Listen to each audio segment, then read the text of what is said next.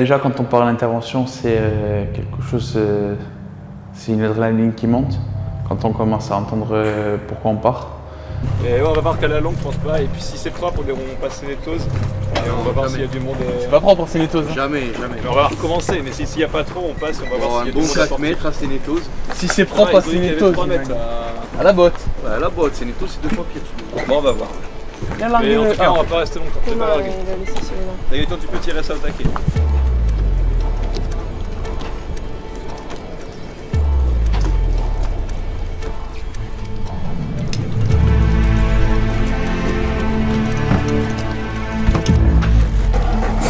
Gaëtan, Oh. conduis avec le masque s'il te plaît. Quel masque? Le masque de plongée. Ah, de- Mets ton masque de plongée. Hein.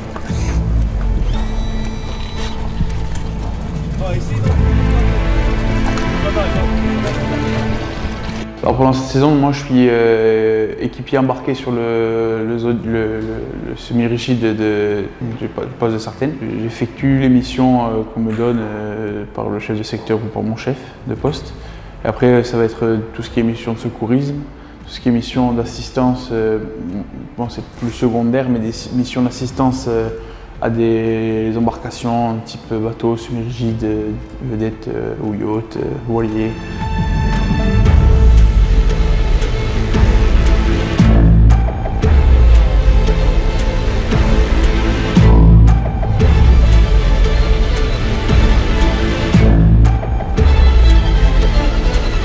Alors sur le patrouilleur de Sartène, cette année, moi je suis affecté en tant qu'adjoint chef de poste, avec euh, Laurent en tant que chef de poste et euh, Lucille et puis Gaëtan en tant qu'équipier.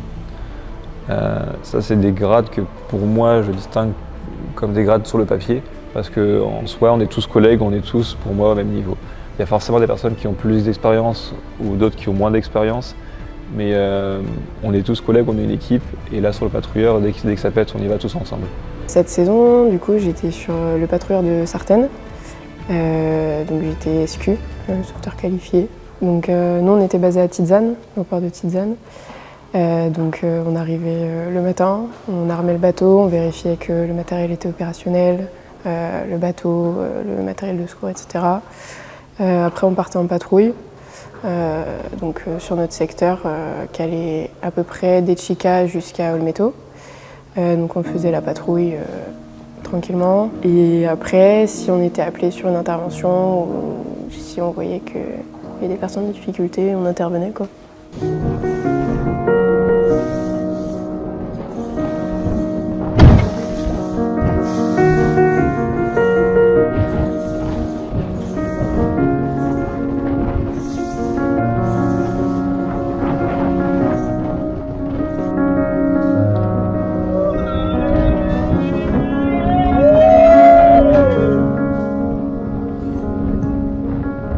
Qu'est-ce que j'aime à la SNSM Euh, Déjà les valeurs.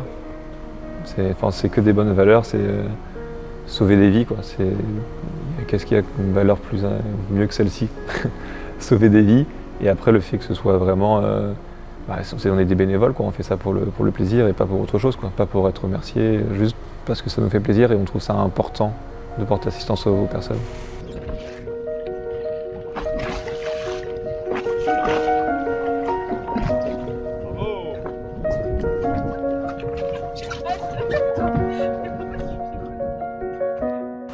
Sur euh, le rôle d'un patrouilleur. Alors, un patrouilleur, c'est un semi-rigide qui est placé dans un secteur, qui est défini. Souvent, c'est le secteur de la commune, c'est euh, le littoral de la commune. Et euh, le rôle, ça va être le maintien de la vie. En fait, ça va être d'assurer des missions de, de surveillance et de sauvetage sur les personnes. Alors l'intervention de l'homme à la mer au port de, de Tizane, euh, ce jour-là, il y avait, pas mal de conditions euh, de mer. C'était quand même navigable, mais c'était des conditions assez fortes. Du coup, il y avait peu de plaisanciers sur l'eau. Euh, du coup, on s'est dit, ce qu'on va faire, on va rester au port, prêt à être déclenché, mais on va aller sur la plage la plus proche du port, donc c'est la plage de l'Avena, où on, on va se positionner en tant que renfort, entre guillemets, en- avec le véhicule et du matériel de secours, parce que c'est là-bas qu'il y avait des vagues, et donc là-bas qu'il y avait potentiellement, du- danger pour les, nageurs.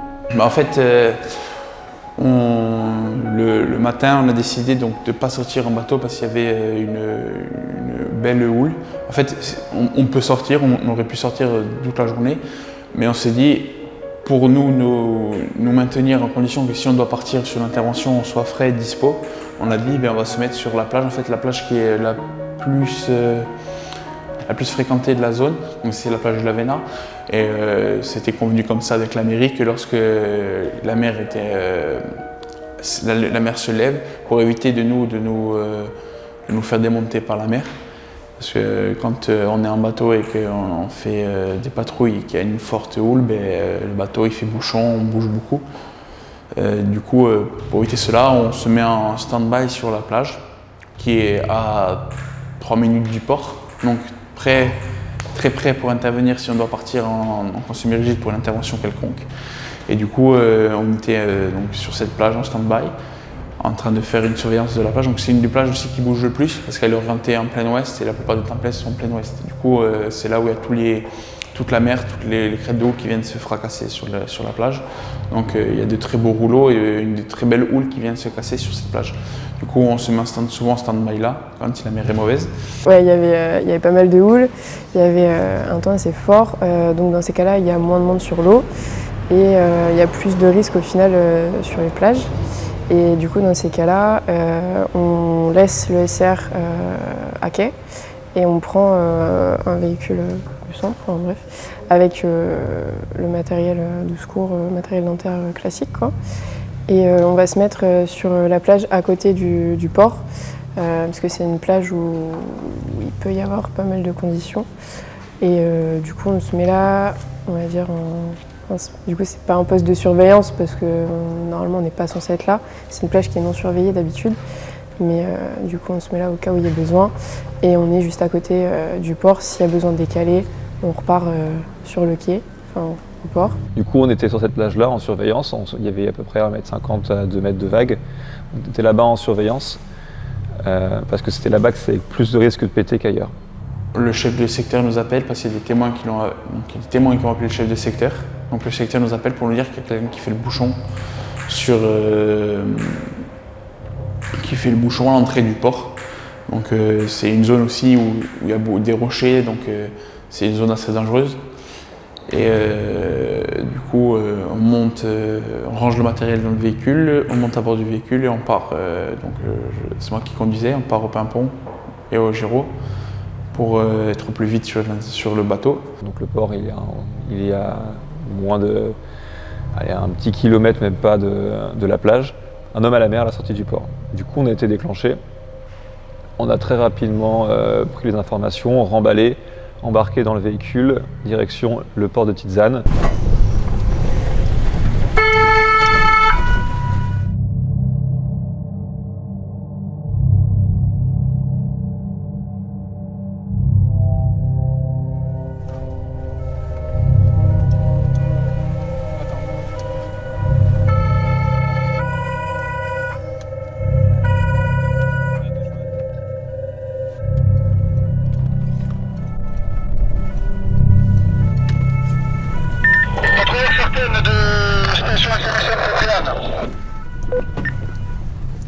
Transmets pour Sartène.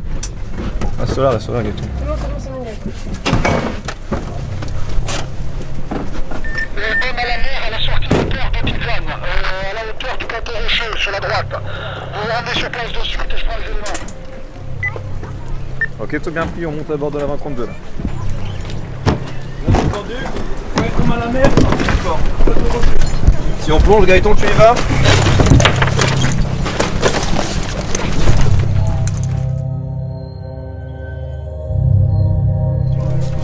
Gaëtan, si on plonge, tu y vas, d'accord S'il y a un mec à aller à l'eau. Ouais, ouais. Quand on a eu l'information, euh, l'information à la radio, il me semble d'avoir entendu euh, poste, enfin, patrouilleur certaine euh, urgent. Donc quand il y a le urgent, ça commence à être. donc là, on est attentif, on se concentre. homme à la mer, donc ça c'est encore plus important parce que si un mec est tout seul en pleine mer, on se dit putain tout seul en pleine mer, si, tu peux rien faire, tu t'attends, tu peux juste attendre.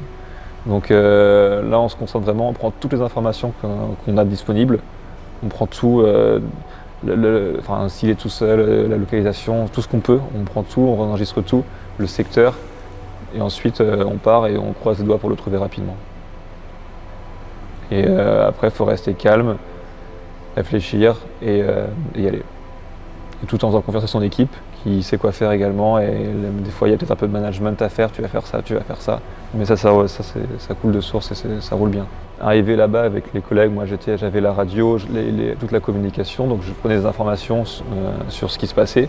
Pendant ce temps-là, les collègues, eux, ce qu'ils ont fait, ils ont euh, vidé le véhicule et euh, préparé l'embarcation euh, avec tout le matériel opérationnel. On s'est également équipé. On arrive sur le bateau, il nous a fallu très peu de temps pour nous préparer. Et après, on est parti sur une intervention sur l'homme qui faisait le bouchon.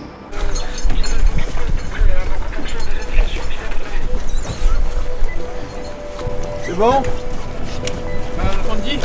C'est largué. Moi, me reporte qu'il y aura un Zodiac gris qui arriverait de barcage. Lucille. Pour tenter de porter assistance. bon. Ouais, c'est reçu. Lucille, c'est bon. Votre mission pour le, pour le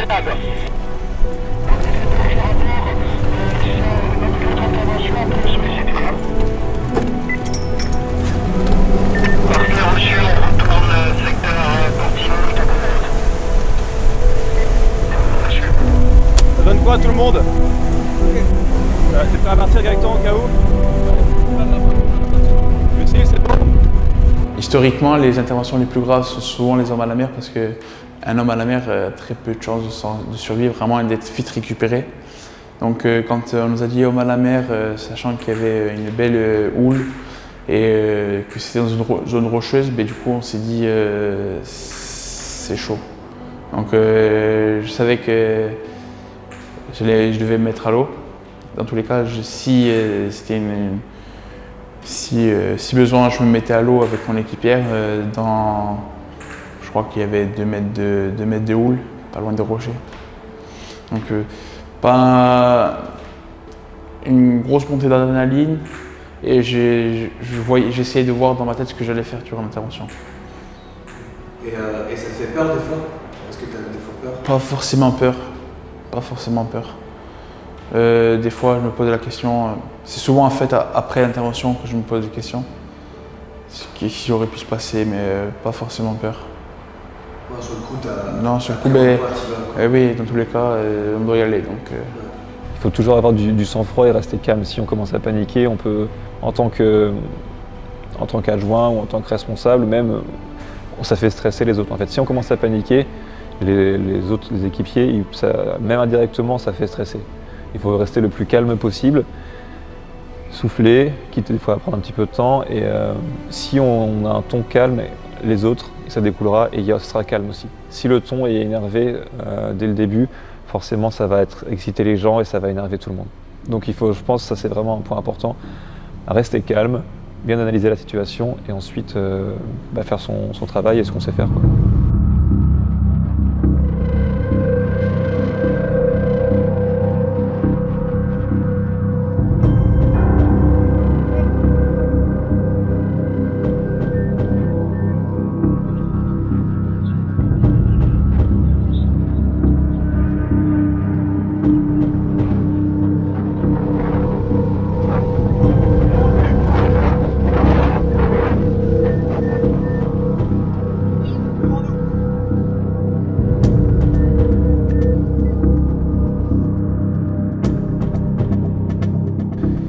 On, a quitté le port, on est parti, euh, parti du port et on a très rapidement trouvé la personne euh, en difficulté, enfin, qui devait être en difficulté, mais au final, on s'est rendu compte que c'était un, nageur euh, qui avait perdu sa bouée de nage et du coup, sur la rive, le- les, les gens s'étaient inquiétés.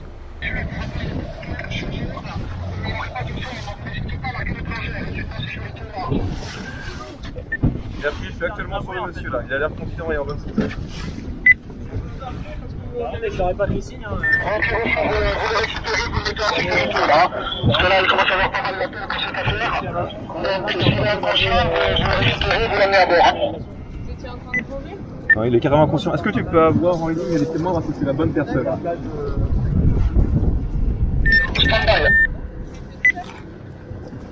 Ouais, je te confirme, vous êtes sur la bonne personne. Vous êtes sur la bonne personne d'après le témoin. Très bien pris, du coup, personne consciente, euh, RAS, un nageur. Devant lui, où est-ce qu'il va Allez où? Vous voulez monter Ok. Mais c'est pour vous faciliter le. Non, mais c'est moi pour faire euh, la nage, c'est va. Ok, allez-y. Ne. C'est pas grave. Allez-y. Chef de dispositif, je vais pas te faire certaine. Et du coup, ouais, la personne est juste un nageur qui refuse de monter avec nous, il continue sa nage, il va parfaitement bien. Compte Cross par téléphone, vous en occupez et vous vous rendez disponible immédiatement. Ouais, c'est tout bien pris, j'appelle le cross. Bah on rentre alors.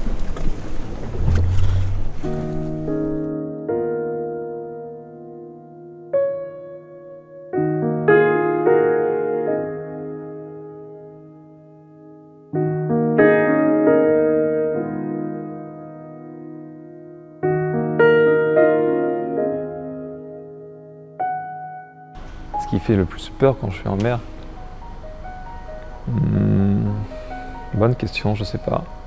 Ce qui me fait le plus peur, c'est mettre en danger mes, équipes, mes équipiers, mes collègues du bateau.